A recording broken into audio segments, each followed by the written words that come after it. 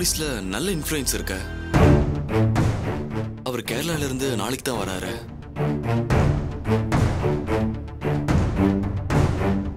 சரி பிரபு சார் வரட்டும். நானும் என் சைடில் என்ன பண்ணலாம்னு யோசிக்கிறேன். முதல்ல நான் போய் ஷாமை பார்க்குறேன். நட்ராஜ் இந்த சுச்சுவேஷன்ல நீங்க எதுக்காக வெளியே போகணும்? ஷாம்க்கு ஃபோன் பண்ணி இங்க வர சொல்லுங்க. என்னங்க இது? இப்போ நான் வெளியே இருந்தா நீங்கள் வந்தேன்? முடிஞ்ச அளவுக்கு அவாய்ட் பண்ணலாமே. ஒன்றும் இல்லைங்க நான் பார்த்துக்கிறேன் நட்ராஜ் சொன்னா கேளுங்க. ஷோ எனக்கு ஒன்றும் ஆகுதுங்க நீங்கள் எதுக்கு கவலைப்படுறீங்க? நான் போயிட்டு உங்களுக்கு ஃபோன் பண்ணுறேன் சரியா?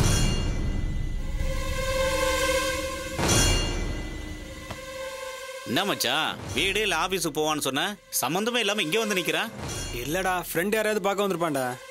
மச்சான் சப்ப மேட்ருடா. இப்படி ஏத்துட்டு போறது எனக்கு ரொம்ப கேவலமா இருக்குடா. என்ன ஆனாலும் சரி இன்னைக்கு வெளியே வந்து தான் அவனை தூக்குறோம்.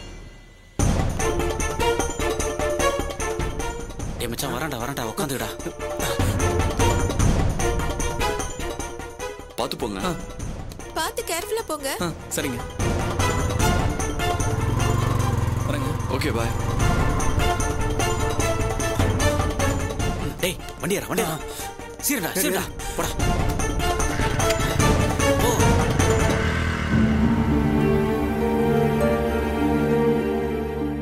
சரி வாங்க.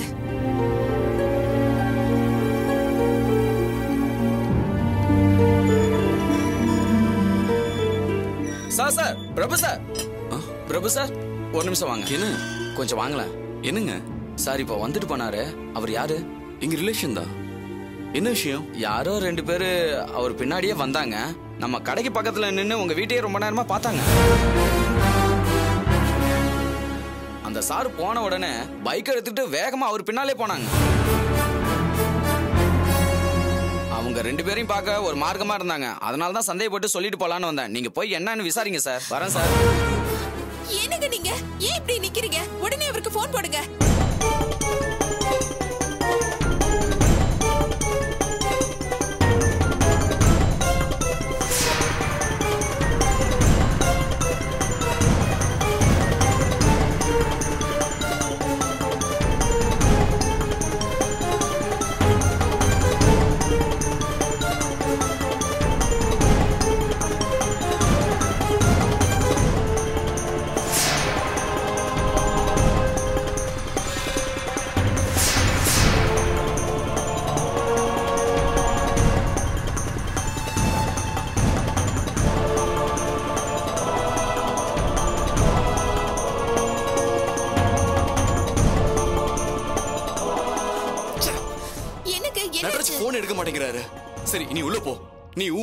இருந்து நட்ராஜுக்கு கால் பண்ண. நான் நேர்ல போய் பார்த்துட்டு வந்துடுறேன்.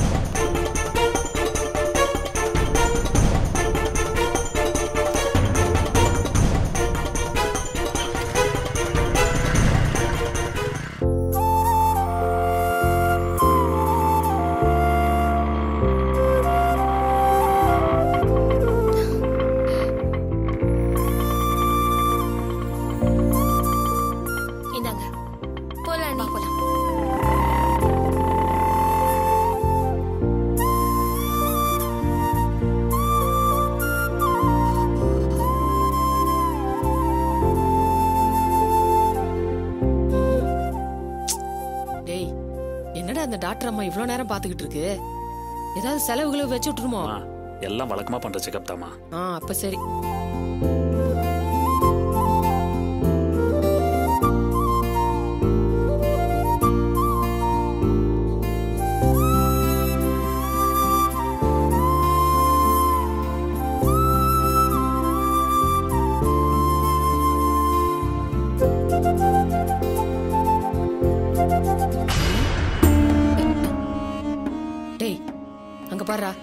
இதுக்கு ரெண்டும் எப்பவும் ஜோடி போட்டே தான் சுத்துங்களா? அவங்க ரெண்டு பேத்துக்கும் அப்படி ஒரு பாண்டுமா? எதுக்குடா என்ன திட்டுற? மா அப்படி ஒரு பாச பிணைப்புன்னு சொன்னமா இவ்வளவு கொஞ்சிக்கிறத பார்த்தா அப்படியே கோவ கோவமா வருதுடா. ஏமா அதுக்கு என்ன பண்ணுங்கிற? இவளையும் அளவு விட்டு வேடிக்கை பார்க்கணும்னு மட்டும் நினைச்சிடாத. ஏன்? ஏன்னு உனக்கே தெரியாதா? அவ மதி மாதிரி இல்ல. இமிடியட்டா கவுண்டர் கொடுப்பா. நான் கொளத்தாம்பட்டியில ரெண்டு கொடுப்பேன். தெரியுமில்ல? வா மருமகளே வா வா. என்ன உன் பையனை பார்க்க வந்திருக்கியா? சாரிங்க ம், நான் ஏதோ யோசனையில இருந்தேன். அதான் தெரியாம பேசிட்டேன். மன்னிச்சிருங்க. என்ன சூர்யா நீ? எதுக்கு இதெல்லாம்? நான் எதுவும் நினைச்சுக்கல.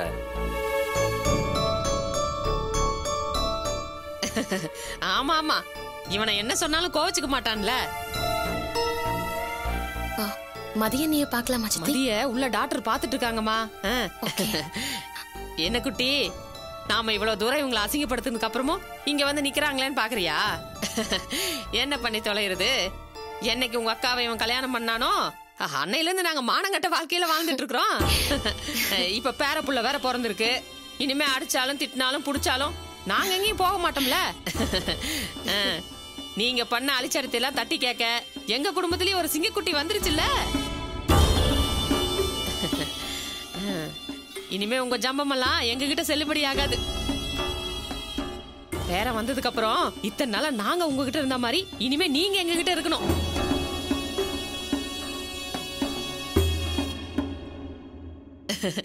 அப்ப வந்து கூல கும்பிடு போடுவீங்க பாருங்க. நாங்க எதுக்கு உங்களை வந்து கும்பிடணும்? நாங்க மத்தவங்க மாதிரி எப்பவும் தப்பு செய்யணும்னு யோசிச்சுட்டு இருக்கவங்க கிடையாது. என்ன குட்டி? இப்ப நான் என்ன சொல்லிட்டேன் நீ இப்படி குதிக்கிற?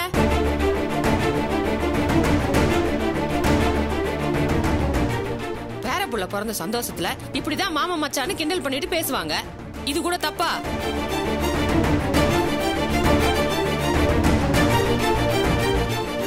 பேச்சு கூட சொல்லக்கூடாதாக்கும். சொல்ல தாயி. ஆம்பளை பிள்ளை பெத்தாலும் சரி பொம்பளை பிள்ளைய பெத்தாலும் சரி. உங்க வீட்டை பொறுத்த வரைக்கும் நாங்க கேவலப்பட்டவங்க தானே?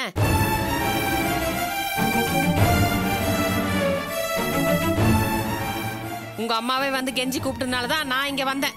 அதுக்கு நல்ல மரியாதை காமிக்கிறமா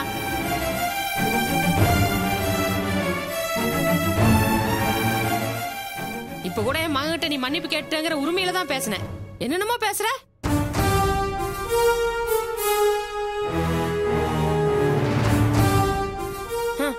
நீங்க எப்போ இப்படிதானே? உங்க காரியம் ஆகணும்னா கெஞ்சி கூத்தாடுவீங்க. இல்லனா கழுத்தை பிடிப்பீங்க.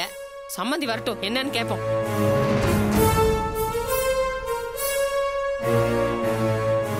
நீயே சொல்லு திவ்யா. மாமா மச்சனி இடையில விளையாட்டா பேசக்கூடாதா? அதுக்கு என்னமோ அந்த பொண்ணு வெடுக்கு வெடுக்குன்னு பேசுது. சில்லு வண்டுகிட்ட எல்லாம் வாங்கி கட்டிக்கணும்னு என் தலை எழுத்து. ஐயோ என்ன சித்தி இது? இது சின்ன விஷயம். இத போய் ஏன் பெருசு பண்றீங்க? அப்போ நான் பண்ணது தப்புன்னு சொல்றியா? தப்பே இல்ல. விடுங்க. நீங்க என்ன பேசினாலும் மனசுல வச்சுக்கிட்டு வஞ்சம் தீக்கிறாள் நான் இல்ல. போங்க போய் புள்ளைய போய் பாருங்க போங்க. போங்க. வா.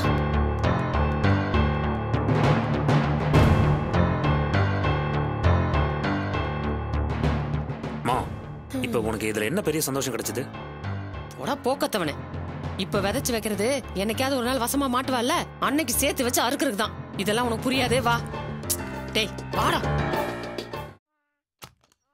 அண்ணி? வா திவ்யா. ஐயோ என்னங்க அண்ணி? எப்படி இருக்கீங்க? நல்லா இருக்கேன் திவ்யா. என்ன மதி? குட்டி பையன் என்ன சொல்றான்?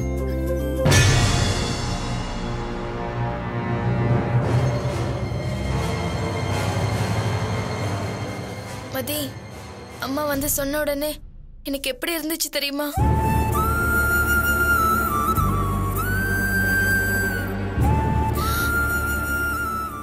பேசினது தப்புன்னு உன் வீட்டுக்கார்கிட்ட மன்னிப்பு கேட்டுட்டேன்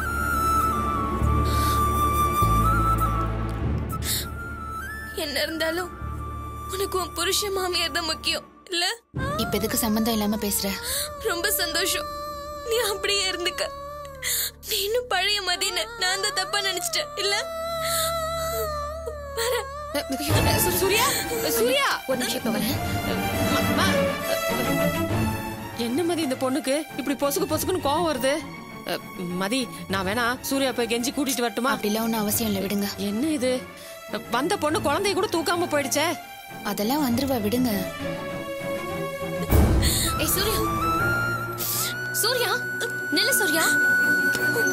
சூர்யா. சூர்யா சொன்ன கேளு. சூர்யா ஏன் இப்படி பண்ற? என்ன நீங்க? ஏதோ நான் தான் தப்பு பண்ண மாதிரி நீங்களும் சொல்றீங்க. அப்படி இல்ல சூர்யா. அன்னைக்கு பிரசவம் ஆயிருக்கு. உடம்பு சரியில்லாதவங்களோட சும்மா சமாளிக்காதீங்க அண்ணி. உங்ககிட்ட நல்லதா பேசினா என்ன பார்த்தோன்னே தான் மூஞ்சி திருப்பி வச்சுக்கிட்டா. அவளுக்கு அவ குடும்பம் தான் முக்கியம் நினைக்கிறேன். நான் சொல்றேன்ல சின்ன விஷயத்தை பெருசு பண்ண வேணாம். வா போய் குழந்தைய பார்த்துட்டு வரலாம். இல்ல நீ நான் வரல. விளையாடுத சூர்யா. அப்புறம் நாளைக்கு இதுவே பெரிய பிரச்சனை ஆயிடும். நான் என்ன தப்பு பண்ணேன்? நான் இப்ப குழந்தைய பக்கத்துல வந்தேன். அவதான் என்ன அசிங்கப்படுத்தி அனுப்புறா. நான் சொன்னா கேப்பியே மாட்டியா? சாரி அண்ணி. நான் வரல. என்ன விட்டுருங்க. சரி அப்ப நானும் போல. என்னையும் அவங்க தப்பா நினைக்கட்டும். ஏன் இப்படி புரிஞ்சுக்காம பண்றீங்க?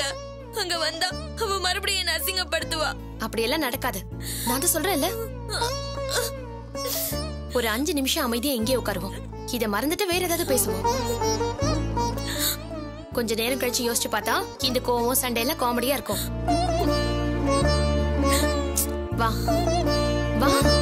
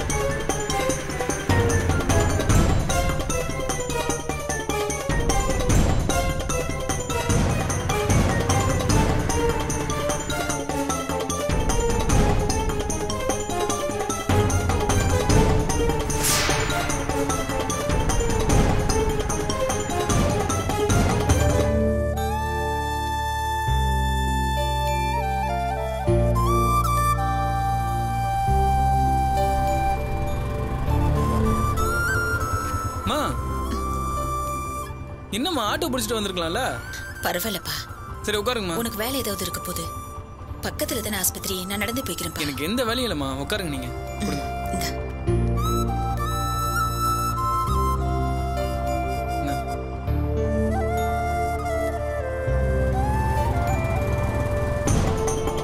டேய் அவன் அம்மாடா.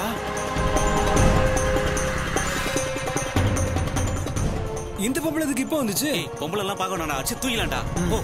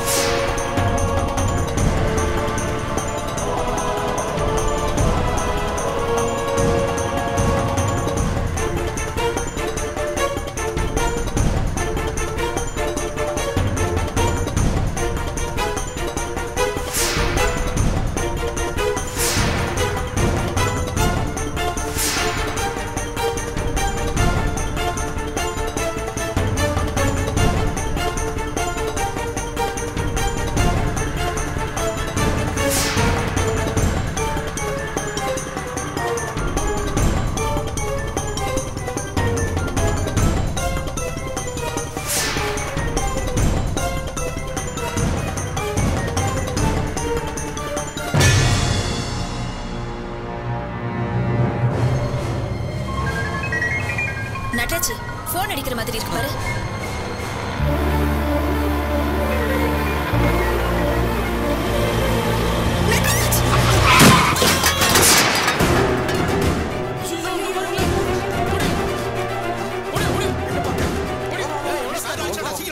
ஆள் காலி நினைக்கிறேன்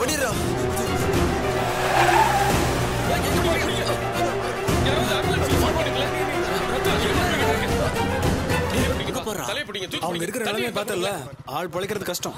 ஏய் எப்படி இன்னும் கொஞ்ச நேரத்துல போலீஸ் வந்துரும்? கிளம்புடா கிளம்பு நீங்க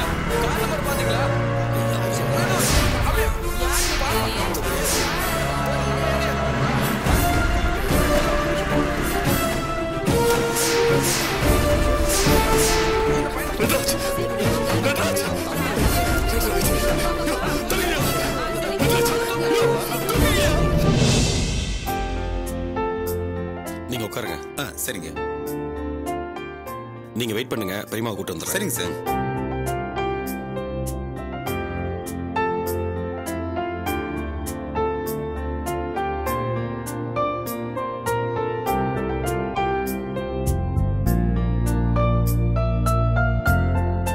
பெரியமா என்ன வெற்றி? பர்ஷுவாக்கம் ரெடிமேட் ஷோரூம் இருக்குல்ல. அந்த இடத்துக்கு அக்ரிமெண்ட் ரெனியூவல் பண்ணுமா ஆள் எப்படி வெற்றி? யாரா இருந்தா என்ன பெரியமா? நீங்க சொன்னீங்கன்னா வச்சுக்கலாம். இல்லைன்னா சாரிங்க நாங்க புதுசா கட்ட போறோம்னு சொல்லி காலி பண்ண சொல்லிடலாம். என்ன முடிவு பண்ணலாம் நீயே சொல்லுப்பா. கொஞ்சம் மிரட்டிட்டு அப்புறம் அவங்ககிட்டயே விட்டுலாம் பெரியமா கீழே வெயிட் பண்றாரு. வாங்க பெரியமா சரி வா பார்க்கலாம்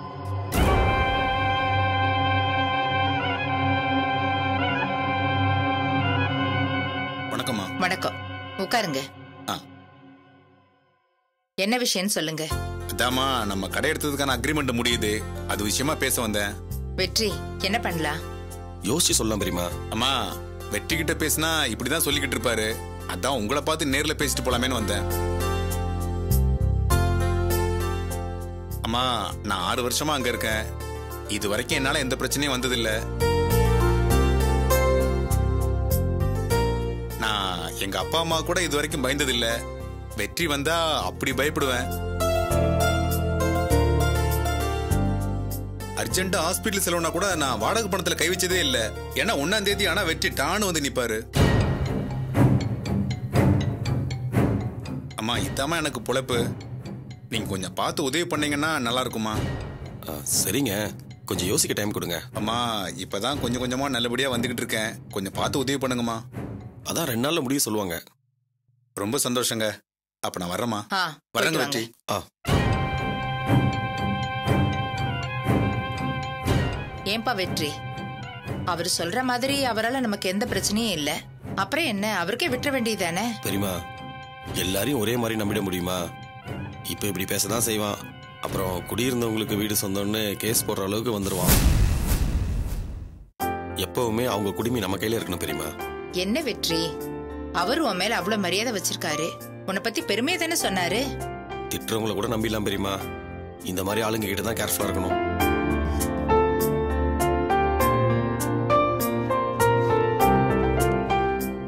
என்ன வெற்றி? எப்போ ஈவினிங் தானே கலெக்ஷன் தருவ? இன்னைக்கு என்ன இவ்ளோ சீக்கிரம்? இதுவும் கலெக்ஷன் தான் பெரியமா வாங்கினவன் சீக்கிரம் கொடுத்துடணும்னு நினைச்சான். அதான். அது யாருப்பா அவ்வளவு நல்ல மனுஷன். நான் தான் பெரியமா இன்னைக்கு தரேன்னு சொல்லியிருந்தேன்ல அதான்.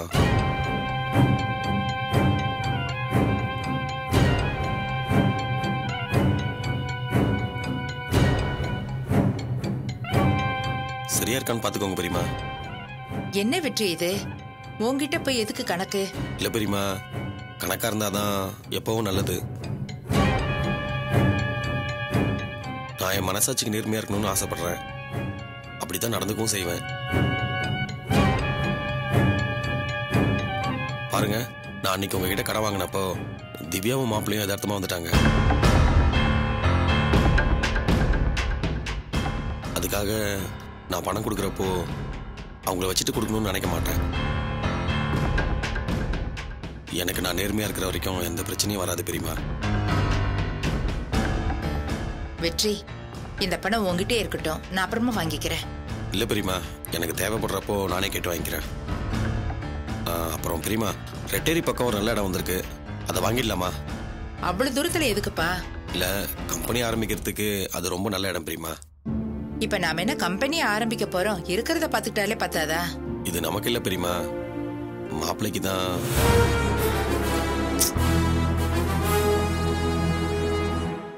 அவரும் ஏதோ சொந்தமா கம்பெனி வைக்கணும் தானே சொல்லிட்டு இருக்காரு இந்த இடத்த வாங்கி அவர் கொடுத்துருவோம். என்ன வெற்றி? இவ்வளவு பட்டதுக்கு அப்புறமும் உனக்கு புத்தி வரலையா? என்ன பெரியமா நம்ம வாங்கி கொடுக்க வேண்டாம் வெற்றி. கொடுக்கறேன்னு சொன்னாலே போதும். அதுக்கே ஒரு பஞ்சாயத்து வச்சிருவாங்க. பெரியமா அவங்க அப்படி நடந்துக்கிறாங்கன்னு நம்ம அப்படி விட்டுற முடியுமா? வேற என்ன பண்ண சொல்ற? அவங்க வீட்டுக்கு பொருளுங்களை அனுப்புறப்பவே என்ன சொன்ன? இதெல்லாம் அவங்க திருப்பி அனுப்புனா நம்மள அசிங்கப்படுத்துற மாதிரி நான் அப்பவே சொன்னேன்ல. கடைசியில என்ன நடந்துச்சு? வேணாப்பா. இனிமே அவங்களா வந்து கேட்காம நாமள எதுவுமே பண்ணக்கூடாது. பெரியமா இது எல்லாமே நம்ம திவ்யாக்காக பண்றது. ஏன்பா அந்த வீட்ல இருக்கிற மத்தவங்க எல்லாம் எவ்வளவோ தேவலை போல இருக்கு. இவெல்லாம் பண்ணிட்டு இருக்கா? அதானே ஜாஸ்தியா இருக்கு. போக போக புரிஞ்சுக்கும் பெரியமா திவ்யா மட்டும் இல்ல அந்த வீட்ல இருக்க எல்லாருமே தான்.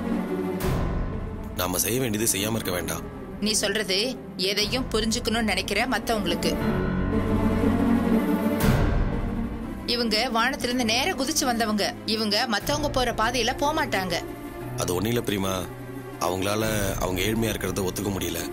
அதான். அதுக்காக அவங்கள நாம ஒண்ணு இல்லாதவங்கன்னு குத்தி காட்டணுமா? இல்ல அவமானப்படுத்தணுமா? பொண்ணை கொடுத்துட்டோமேன்னு எல்லாத்துக்கும் அடங்கி தானே போறோம்? என்ன பண்றது பெரியமா அவங்களுக்கு எப்பவுமே சின்னதா வர்த்தக கௌரவம் இருந்துட்டே இருக்கு. இருக்குல்ல. அதை வச்சு அவங்க பொங்கி திங்கட்டும். விட்டு தள்ள வெற்றி. இங்க பாருங்க பெரியமா நான் இந்த வீட்டு நல்லதுக்காக தான் சொல்றேன். கேப்பீங்களா மாட்டீங்களா? என்ன வெற்றி இது? பெரியமா அந்த இடத்தோட பவர் ஆஃப் அட்டானி வச்சிருக்க ஒரு ஆளை நாளைக்கு நான் வர சொல்றேன். நம்ம பேசி முடிச்சிடலாம்.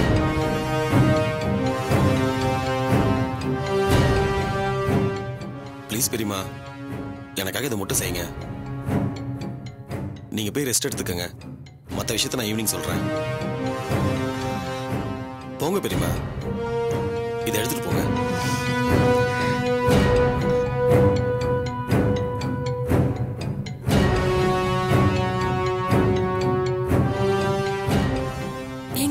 என்னங்க நீங்க? அவங்களே வேண்டான்னு சொல்றாங்க. நீங்க என்னமோ இடத்த வாங்கி தான் கொடுப்பேன்னு அடம் பிடிக்கிறீங்க. இங்க பாரு. இந்த வீட்ல இருந்து ஒரு குண்டுமணி போனா கூட அது என்னோட சொத்து தான் அதெல்லாம் போறதுக்கு விட மாட்டேன்